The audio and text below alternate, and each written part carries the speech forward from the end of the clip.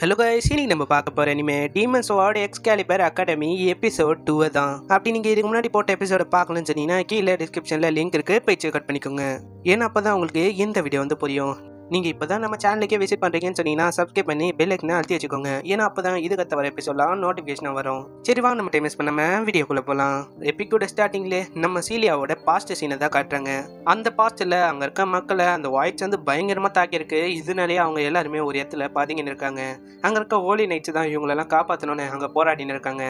இந்த சைடு நம்ம ரெசிலியா and cilia இவங்க ரெண்டு பேருமே ஒரு இடத்துல பதுங்கின்னு இருக்காங்க. நம்ம ரெஜினாவும் அங்கே பயங்கரமாக பயந்துன்னு இருக்கா. ஏய் நம்மளுக்கு என்ன ஆகும்? நம்ம இன்னும் செத்து போயிடுவோமா? ஏய் நீ எதுக்கு அதை பற்றிலாம் பேசுகிற நம்மளாம் கவலைப்படக்கூடாது. ஏன்னா நம்மளோட பேரண்ட்ஸ் வந்து ஹோலி நைட்ஸ் அவங்களாம் ஹோலி நைட்ஸ் அவங்க வந்து கண்டிப்பாக நம்மள காப்பாற்றிடுவாங்க அதனால நீ வந்து அதை பற்றிலாம் கொல்லப்படாத. நம்ம சீலியா வந்து அங்கே ரொம்பவே புத்திசாலியாக இருக்கா? ஆனால் நம்ம ரெஜினா வந்து அங்கே பயந்துன்னு இருக்கா? இருந்தாலும் நம்ம சீலியா சொன்னனால நம்ம ரெஜினாவும் அங்கே கேட்டு கொஞ்சம் கம்முன்னு ஆயிடுறா. அடுத்தது அவங்களும் டிசைட் பண்ணுறாங்க இந்த மாதிரி நம்ம வளர்ந்தோடனே நம்மளும் அந்த எக்ஸ் கேலிபர் அகாடமிக்கு போய் ஜாயின் பண்ணோம். ஏன்னா அப்போ தான் நம்மளால அந்த ஹோலி நைட்டாக மாற முடியும். இவங்களும் இப்படி பேசின்னு இருக்க மேலேருந்து பயங்கரமாக சவுண்ட் வருது. இதனாலே நம்ம சீலியாவும் அவங்களோட பேரண்ட்ஸை பார்க்கலான்னு அங்கே போகிறா இதை பார்த்து நம்ம ரெஜினாவும் ஏய் என்னை விட்டு போகாத இப்படின்னு அவளும் பயங்கரமாக அழுதுன்னு இருக்கான் இதனாலே நம்ம சீலியாக்கோங்க வேற வழியே இல்லை. இதனாலே அவளும் வேண்டாம் இருப்பா. அவளோட சிஸ்டர் கூட அங்கேயே இருக்கா. இதுக்கப்புறம் அவங்களும் அப்படியே தூங்கிடுறாங்க. நெக்ஸ்ட் சீனில் அந்த பங்கரை தான் காட்டுறாங்க. அதுவும் ஓப்பனில் இருக்குது வெளியில் தர தரமட்டமாக எல்லாமே அழிஞ்சு கிடக்குது. வெளியில் பார்க்க ஏதோ பால் அடைஞ்ச ஏரியாவுக்கு வந்த மாதிரி இருக்குது நம்ம சீலியான் ரெஜினா இவங்களும் வெளில வராங்க. நம்ம சீலியாவும் சொல்கிறான் ஹேய் என்னை வந்து மன்னிச்சிரு. நான் வந்து உள்ளே ப்ராமிஸ் பண்ணியிருந்தேன். இந்த மாதிரி நம்ம வெளில போய் பார்த்தா எல்லாமே கரெக்டாக இருக்கும்னு. ஆனால் எனக்கு தெரியாது. இந்த மாதிரி உடஞ்சிருக்கும்னு. அதனால என்னை மன்னிச்சிரு. ஆனால் இப்போது நம்மளுக்குன்னு எதுவுமே இல்லை. நெக்ஸ்ட் சீனில் சீனோ ப்ரெசண்ட்டுக்கு வந்து நம்ம ரெஜினாவும் கேட்குறா ஹேய் நீ வந்து இப்போ தான் இந்த சிட்டியை முதல் முறையாக பார்க்குறியா? ஆமாம் ஆப்வியஸாக நம்ம ஹீரோ வந்து ஆயிரம் வருஷமாக தூங்கியிருக்கான்ல.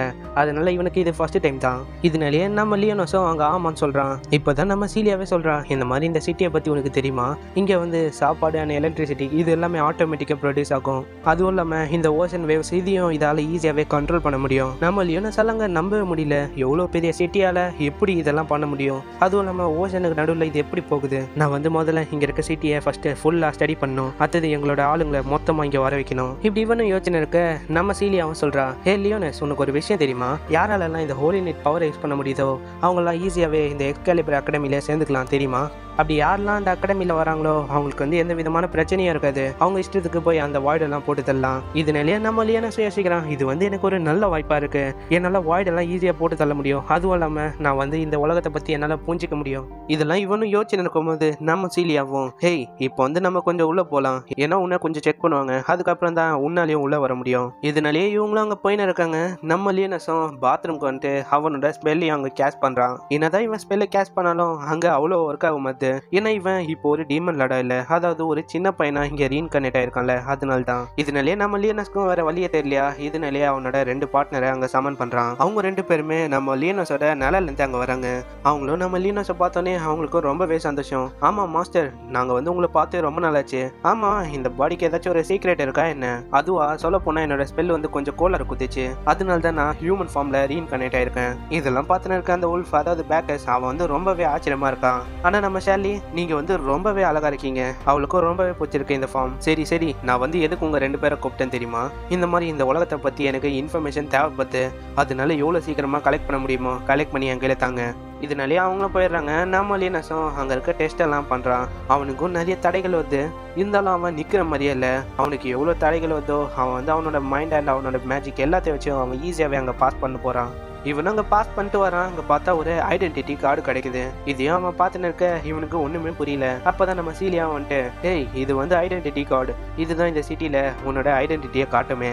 இதுக்கப்புறம் நம்ம சீலியாவும் நம்ம லியோனஸுக்கு அங்கே இருக்க சிட்டியை காட்டின்னு இருக்கா. நம்ம லியோனஸும் உள்ளே போய் பார்க்குறான். அவனும் பார்த்து ரொம்பவே ஆச்சரியமாயிடுறான். ஏன்னா அங்கே இருக்க பீப்புள்ஸ்லாம் நார்மலாக இருக்காங்க. இங்கே இருக்க ஆளுங்களுக்கு எந்த விதமான ஆபத்தும் இல்லாத மாதிரி ரியாக்ட் பண்ண இருக்காங்க. அப்போ இதுக்கு எவ்வளோ டைட்டான செக்யூரிட்டி இருக்கு? இதனாலே அவனும் யோசிக்காம நம்ம சீலியா கையில் கேட்டுறான்.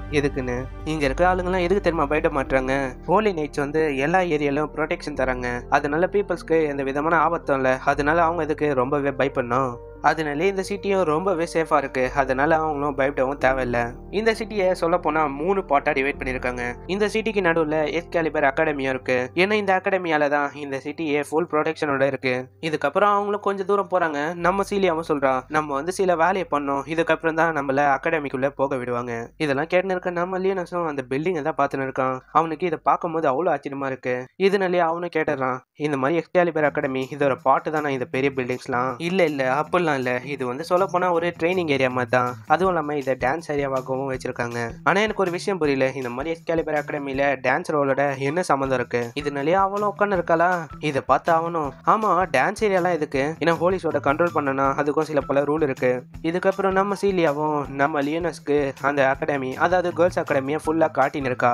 இவங்களும் அப்படியே பேசினே போறாங்களா? அங்க இருக்க பொண்ணுங்களும் நம்ம லியனஸை பார்த்துன்னு இருக்காங்க. ஏன்னா நம்ம லியனஸ் அவ்வளோ கியூட்டா இருக்கான்? இப்படி இவங்களும் போயின்னு இருக்க அங்கேயே முசேலுன்னு ஒருத்தன் வந்து அவங்களோட ரூட்டை அப்படியே நிறுத்திடுறான் இருந்தாலும் நம்ம சீலியா அவனை கண்டுக்கவே இல்லை. இதை பார்த்த நம்ம லியனஸ்க்கும் நல்லாவே புரியுது. இவளுக்கு அவனை பிடிக்கவே இல்லைன்னு. இதனாலேயே அவளும் வேற ரூட் வழியா போகலான்னு பாப்பா. இருந்தாலும் அந்த முசேல் திரும்பவும் வந்து அந்த ரூட்டை மறைக்கிறான். ஏ பொண்ணு எங்கம்மா போற? இந்த பையன் யாரு? ஆமா இந்த பையன் எதுக்கு உன் கூட சுத்தின்னு இருக்கான். ஆமா நீ எதுக்கு என்னோட ரூட்டை மறைக்கிற? மரியாதை தள்ளு. இதெல்லாம் கேட்டா ஆகணும். எனக்கு உன்னோட நிலைமைய பார்த்தாலே சிரிப்பு சிரிப்பா வருது. ஏன்னா நீ இப்போ ஒரு சின்ன பையனை இந்த அகாடமிக்கு ஏத்துனது வந்திருக்க. இதுவும் இவனை ஜாயின் பண்ற மாதிரி. ஏய் இன்னும் இவனை பார்த்து சிரிச்சுன்னு இருக்க? இவன் வந்து ஒரு சாதாரணமான பையன் இல்ல. இவனும் ஒரு ஹோலி ஸ்வாட் தான். ஏய் என்ன கதை விட்டுன்னு இருக்க நீ? இதெல்லாம் நம்ப முடியாது என்னால. இதெல்லாம் பார்த்துன்னு இருக்க நம்ம நான் யோசிக்கிறான் இந்த பையன் வந்து பொண்ணுங்களை அசால்ட்டாவே மயக்கிறான் அப்போனா இவன் ஒரு திறமசாலி தான். இவன் பக்கத்துல இருக்க கேர்ள்ஸை பார்த்தாலே தெரியுது. இவன் வந்து ஒரு நார்மலான பர்சன் இல்லை. ஏன்னா நார்மலான பர்சன் பின்னாடி எத்தனை கேர்ள்ஸை சுத்த மாட்டாங்க. இப்படின்னு தான் நம்ம ரியோனஸ் அவங்க நினைச்சுன்னு இருக்கான். ஆனா நான் வந்து நினைச்சா இவனை அசால்ட்டாவே என்னால கொல்ல முடியும். ஆனா கொன்னாலும் எந்த விதமான பிரயோஜனமும் இல்ல. ஏன்னா இவன் சாதாரணமான ஒரு பையன் தான் இப்படி இவனு யோசனை இருக்க அந்த பையனும் நம்ம சீலியாவை பயங்கரமா கடுப்பேத்தின்னு இருக்கான். அதுவும் இல்லாம கிண்டல் ஏற்றினு இருக்கான். நம்ம முசேலும் நம்ம சீலியாவை பார்த்து சொல்றான். ஹேய் உன்னாலலாம் இந்த அகாடமியில ஒரு பெரியாராவே மாற முடியாது. ஏன்னா உன் கையில ஹோலி ஸ்வாடுக்கான எந்த விதமான பவரும் இல்ல. ஆனா இதெல்லாம் பார்த்து இருக்க நம்ம லியனஸ் தான் ரொம்பவே கன்ஃபியூஷனா இருக்கான்.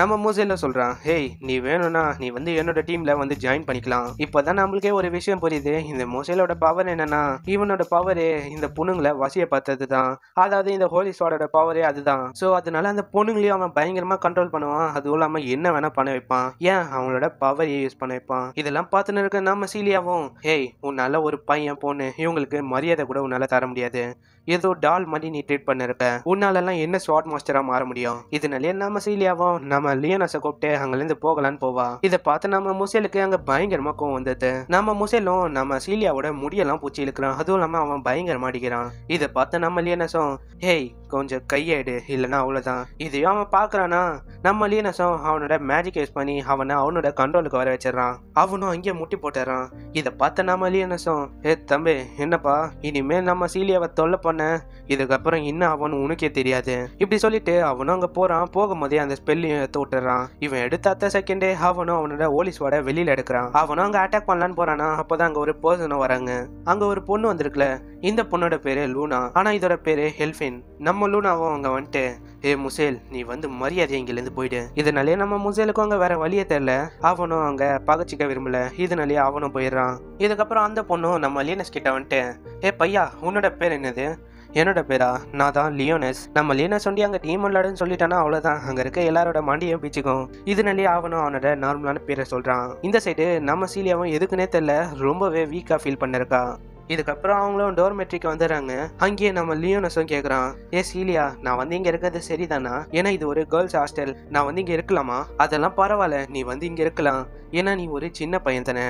இதனாலேயே நம்ம லியனஸும் அங்கே உள்ள வந்துடுறான் இதுக்கப்புறம் அவனும் நம்ம சீலியாவை பார்த்துன்னு இருக்கான். நெக்ஸ்ட் சீன்ல நம்ம லியனஸும் அங்கே போய் நிம்மதியாக கொலிச்சுன்னு இருக்கான். திடீர்னு நம்ம சீலியாவும் பின்னாடி வந்து அங்கே முதுகு தேய்ச்சின்னு இருக்கான்.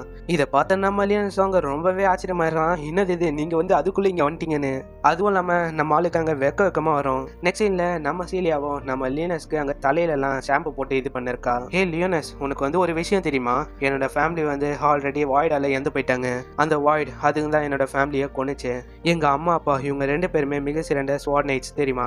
எனக்கும் ஒரு ஆசை இருக்கு. இந்த மாதிரி நானும் எங்கள் அப்பா அம்மா மாதிரி ஒரு பெரிய ஓலி ஸ்வாட்நைட்டாக மாறணும்னு. ஆனால் இப்போதைக்கு என்னால் எதுவும் பண்ண முடியாது. ஏன்னா எனக்குள்ளே இருக்க பவரை எழுப்புறது கொஞ்சம் கஷ்டமான விஷயம். இப்படி இவ்வளோ சொல்ல இருக்க நம்ம சீலியாவும் அங்கேயே கொஞ்சம் மயங்கிடுறா. இதை பார்த்த நம்ம லேனஸும் அங்கே அவளோட கஸ்டமர்க்கை தான் செக் பண்ணிருக்கான். இவனும் அங்க எனர்ஜியை ஷேர் பண்ணும்போது நம்ம சீலியாவோட கண்ணு அப்படியே ரெட்டா மாத்த இவளும் அங்க ஷேர் பண்ணி முடிச்சோன்னே அவளும் அங்க ரத்தத்தை குடிக்கிறா.